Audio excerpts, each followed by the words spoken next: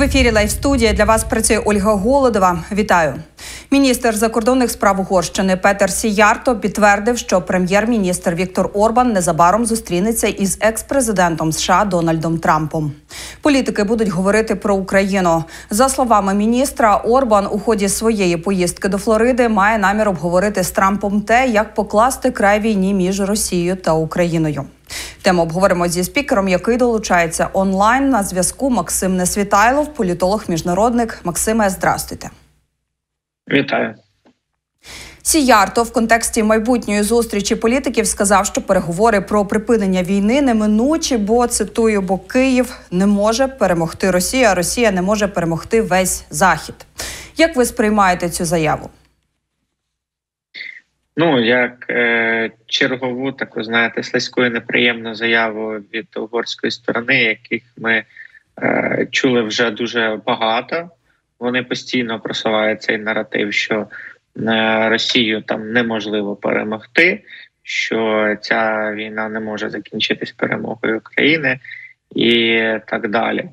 Е, ну і звісно, не дуже приємний е, цей момент. Те, що Орбана вдалося, е, те, що Орбану вдалося зблизитися з Дональдом Трампом, який наразі має реальні шанси перемогти в виборах президента Сполучених Штатів Америки, і очевидно, що він вже цю ставку зробив.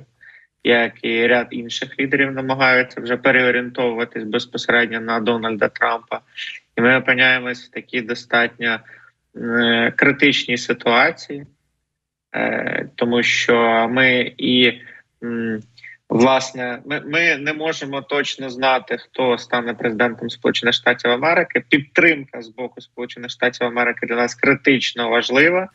І е, підтримувати комунікацію з обома кандидатами, з діючим президентом, як з президентом, це надзвичайно складний процес зараз. І звісно, те, те, що робить Угорщина, цьому в жодному разі не сприяє.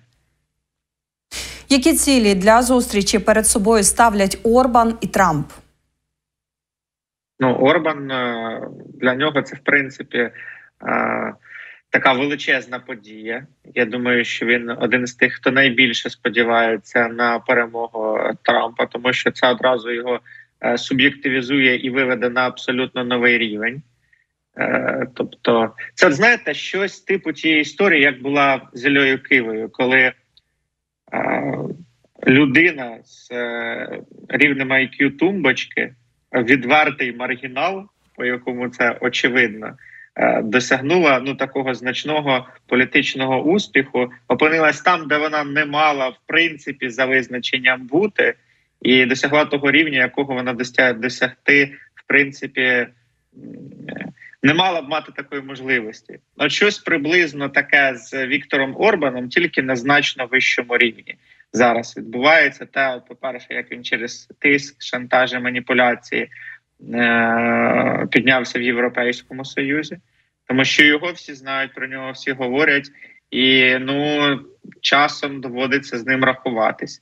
А якщо він зараз зможе вибудувати прямі взаємовідносини з Дональдом Трампом, і той ще стане президентом Сполучених Штатів Америки, то Орбан взагалі стане однією з е, можна сказати навіть ключових е, фігур, е, може стати однією з ключових фігур в Європейському Союзі, і це, звісно, дуже такий небезпечний момент. В яких стосунках на зараз перебувають Орбан і Трамп?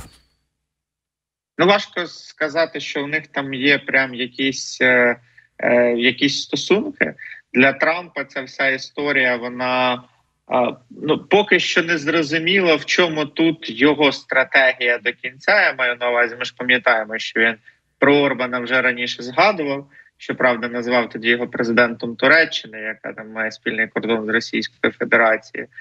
Е, тим не менш, він про нього згадував, і він е, згадував про нього достатньо позитивній канотації, що для нас знову ж таки не дуже добре.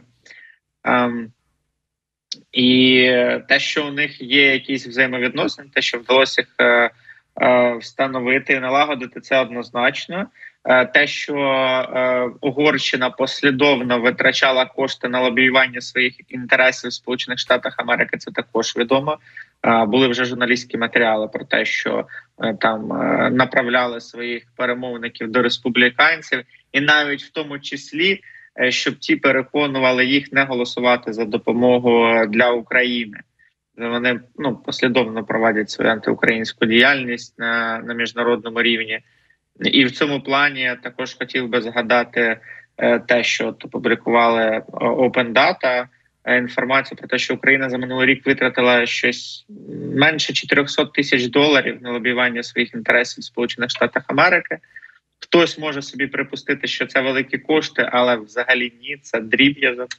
Враховуючи те, наскільки для нас важливі Сполучені Штати Америки, наскільки нам важливо пристановлювати ці прямі комунікації, тому що ми боремось не тільки з Російською Федерацією, а й з її сателітами, і в принципі з внутрішніми опонентами України в Сполучених Штатах Америки.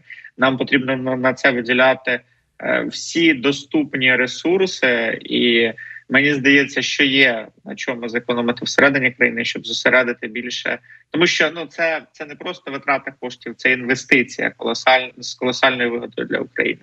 Але це такий ліричний відступ. Перепрошую. Що для угорської влади означатиме перемога Дональда Трампа на президентських виборах Америки?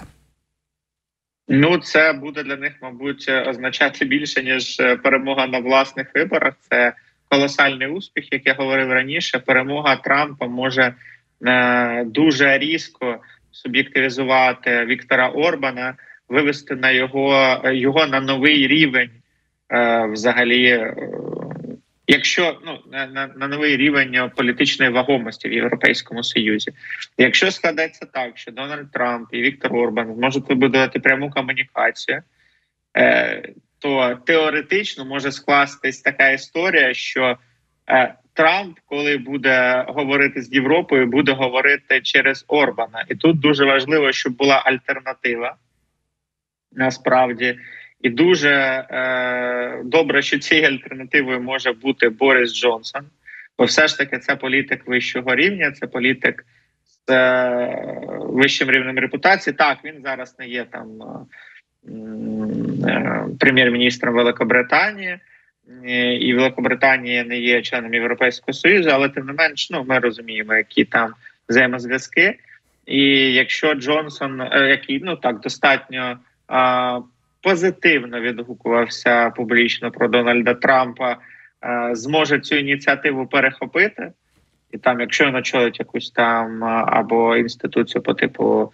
Е, ну, якусь міжнародну інституцію, наприклад, чи повернеться на посаду прем'єр-міністра Великобританії, що також цілком можливо, це той момент, який може нас дуже сильно виручити в цій ситуації. Наостанок, хто ще зі світових політиків намагається бути посередником між Росією та Україною? Ну тут е, по класиці Туреччина е, Ердоган постійно намагається посадити всіх за стіл переговорів. Обов'язково щоб це було в Туреччині, щоб він був таким висатим голубом миру. Е, Китай це декларує, але Китай відверто в цьому не зацікавлений. Китай зацікавлений в тому, щоб ця війна продовжувалась щоб хаос і надалі існував, і вони могли реалізовувати свої якісь стратегічні плани стосовно е, Тайваню і Південно-Китайського моря. А, а так, в цілому, е, щоб сприймати це серйозно, більше варіантів і немає. Максиме, дякую за пояснення. Дякую за те, що знайшли можливість долучились до ефіру. Максим Несвітайлов був з нами на прямому зв'язку. На цьому поки що все для вас. Працювала Ольга Голодова. Побачимось в нових ефірах.